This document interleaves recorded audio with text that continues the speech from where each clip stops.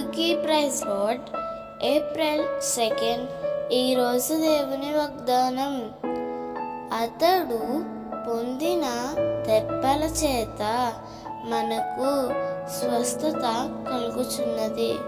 యష్యా యాభై మూడు ఐదు. ప్రభువు గాయాల వలన మనకు స్వస్థత కలుగుతుంది. ప్రభు గాయపరచబడడం ప్రభు మరణించడం ప్రభు పునరుద్ధానం అవ్వడం మన శరీరానికి ఆత్మకు హృదయానికి స్వస్థత లభించును.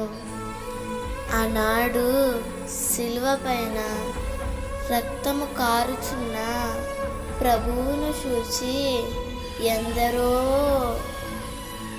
ఆయనను అపహసించారు.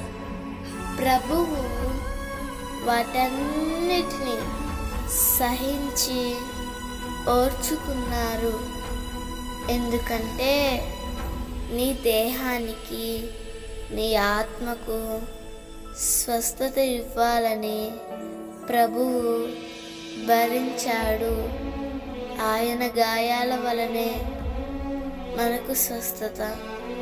అనారోగ్యాలన్నిటిపైన ప్రభు రక్తము వలన స్వస్థత కలుగుతుంది. దేవుడు ఈ వాగ్దానం నీ జీవితంలో నిశ్చయముగా నెరవేర్చునుగాక.